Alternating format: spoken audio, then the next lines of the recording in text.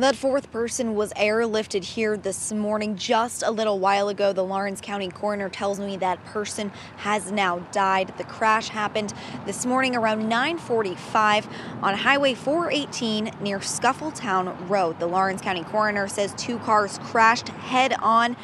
They say two people were in each car. Three people reportedly died at the scene. The coroner says that fourth person again was airlifted in critical condition. The Greenville County coroner's office was also called in to assist. Highway Patrol is now investigating the crash, and the coroner is still working to notify the families of the victims. We're waiting to learn the um, identifications and the names of those victims still. For now, we are live in Greenville. Kylie Jones, WYFF.